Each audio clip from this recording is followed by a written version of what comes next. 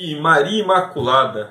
Nesta época é importante falarmos sobre a tradição do presépio na casa dos católicos. O presépio deve ser montado em todas as casas católicas. E se tiver crianças na casa, é importante ensiná-los a montar o presépio e deixar que as crianças coloquem o menino Jesus da manjedoura. Né? Por que você diz isso, Maurício? Por quê? Para que as crianças comecem a aprender desde cedo o sinônimo da data que se chama Natal. Né? O porquê nós temos essa data no calendário cristão. Né? O porquê nós temos o festejo natalino. Porque a mídia ela bombardeia a cabeça de todas as crianças que o Natal é apenas uma época para se ganhar presentes e ver o Papai Noel no shopping. Né? A maioria das crianças, a primeira coisa que você fala a palavra Natal, elas vão se lembrar de presentes e de os adultos levarem o papai, a criança para ver o Papai Noel lá no shopping. Né? E também até vou fazer até um vídeo falando da questão do Papai Noel, né, que não é aquilo lá que todo mundo pensa, né? Papai Noel, na verdade, era São Nicolau, né? O bom, realmente o bom velhinho que foi transformado em uma peça comercial, né? E isso daí até vale um outro vídeo para que eu possa estar comentando, né? Porque o assunto é um pouco extenso, né? Mas o Natal é a data de nascimento do nosso Salvador Jesus Cristo, quando Maria, essa sem pecado algum, concebeu Jesus Cristo a esse mundo.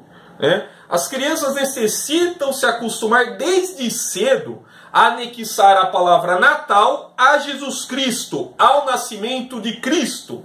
Né? E até antes das catequeses e primeira comunhão, é necessário que elas, elas anexem esta data ao nascimento de Cristo. Bem como também o sinônimo da Páscoa, bem como também outros festejos do calendário católico, as crianças necessitam ter esse conhecimento e começar a perceber a importância da figura de Cristo dentro da vida e do cotidiano de todos os católicos. Né? Feliz o católico que cria é, os seus filhos né, e um lar com a presença de Cristo, né, de Maria, dos santos. Né? E o primeiro presépio, para vocês terem uma ideia, foi montado em 1223. Sabem por quê? Por São Francisco de Assis. Né? E a tradição se estendeu por muito tempo, a ponto de você ter nobres reis católicos montando presépios fabulosos, presépios que enchiam os olhos de tanta beleza né, e detalhes. Né? E essa tradição vem até os dias de hoje. Porém, toda essa questão do modernismo, do laicismo, tenta apagar né, o Natal na cabeça das crianças, dos adultos, colocando o Natal apenas como uma data consumista ou para ver o Papai Noel, né? Este que foi totalmente desvinculado da, da sua real história como um mero distribuidor de presentes, né? E o presépio aqui para nós brasileiros é uma herança trazida pelos portugueses, junto com toda a catequização feita pela igreja militante né, feita pelos jesuítas, como eu já falei por aqui, e o presépio, como a festa do divino, todo o calendário é, católico, a Páscoa, todos os festejos, eles foram heranças de nossos irmãos portugueses para nós brasileiros. Né? Então, é também a hora de nós começarmos a refletir sobre as nossas raízes católicas também nessa época. Graças a eles que nós temos o presépio, também eles que trouxeram essa tradição para o Brasil. Né? E por isso, Jesus, Maria e José merecem um espaço de destaque na sua casa, na casa de todos os católicos do mundo. Uma tradição que jamais deve ser perdida, ignorada ou trocada apenas, colocando aquela árvore de Natal, posso dizer assim, bastante feia, é bastante medonha, apenas com presentinhos embaixo, né? Como muitas pessoas estão fazendo, né? A casa católica ela tem que ter um presépio e as crianças necessitam ajudar a montá-lo, né? Uma tradição também que se perdeu por falar em perdas de tradição, como está acontecendo com o presépio, né? Muitas casas até de católicos que eu vou e pergunto, cadê o presépio? Né? É, o cara fala, olha, não tive tempo de montar. Todo, todo ano essa coisa, né? Os caras falam, olha, eu vou montar o presépio, eu vou fazer isso, aquilo, e acabam não fazendo. Né? Porque não tem significado algum mais o presépio dentro da vida das pessoas. Né? O presépio é um sinal da vinda de Cristo para o mundo. Né? Nosso Salvador, Senhor Jesus Cristo. Né?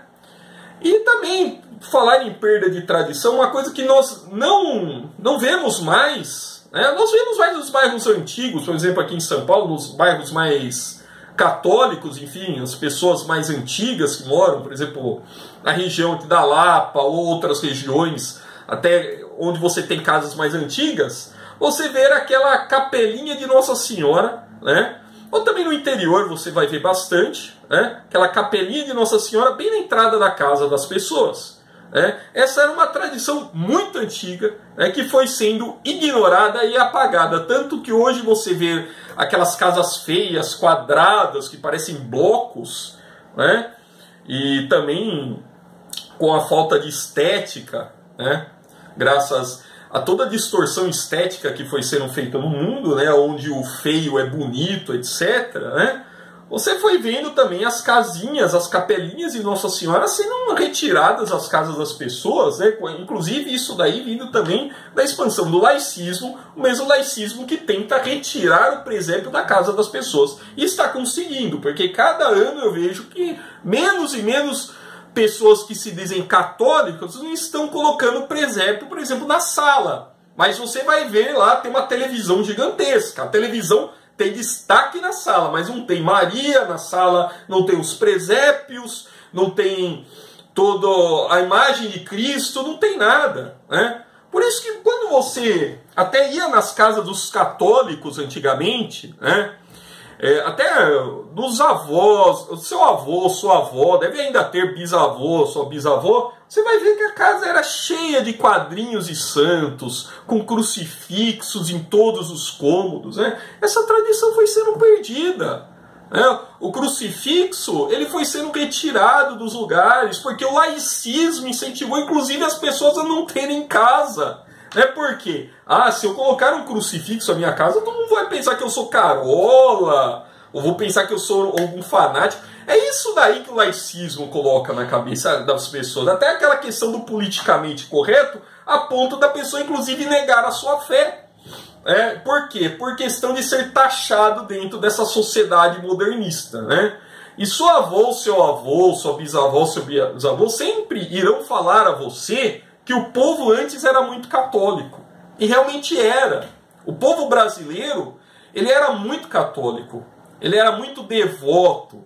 Ele tinha esse, ele era muito fervoroso, né, inclusive na sua fé. É, foi uma herança muito bonita que Portugal deixou para nós, é que, que conseguiu sobreviver por muito tempo. Hoje está sendo atacada de forma até que bastante intensa pelo laicismo, né, e também por essa questão do politicamente correto, você não pode ter nada na tua casa porque ah, você vai ofender quem é protestante, ah, você vai ofender quem é de outra denominação, como o Estado laico coloca, né? Ah, você vai ofender todo mundo, né?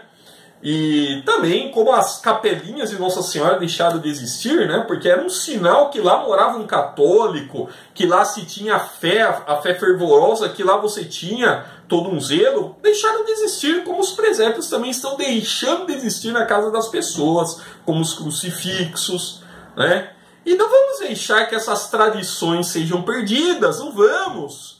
Vamos colocar crucifixos em casa, colocar capelinhas. Se você mora em casa, faça uma capelinha na entrada da tua casa. Né? Vamos res, restaurar essa tradição, res, resguardar ela, vamos trazer ela de volta para o cotidiano da população. Né? Se nós não fizermos nossa parte, olha, né, o mundo está aí, né, pregando uma gigantesca quantidade de maldades na cabeça das pessoas, inclusive as pessoas que se dizem católicas ainda. Tá bom, pessoal? Esse é o recado que eu tenho para dar para vocês. E eu vou gravar mais um vídeo ainda essa semana, mas quem não me assistir mais, eu desejo um feliz Natal, um Natal maravilhoso, que Cristo esteja com você, com a sua família, que Maria os cubra com um manto sagrado dela, que Deus possa estar na casa de todo mundo nesse Natal que nós precisamos muito, né? Precisamos muito de Cristo nesse mundo, Ele que nos salvará, né? Porque esse mundo é apenas ilusões materialistas, consumistas e tudo mais, né? Inclusive nessa época de Natal, que é lamentável a quantidade das pessoas se matarem né, para consumir, consumir, consumir e não pensar no real, real significado do Natal. Tá bom? Forte abraço, salve Maria e até breve.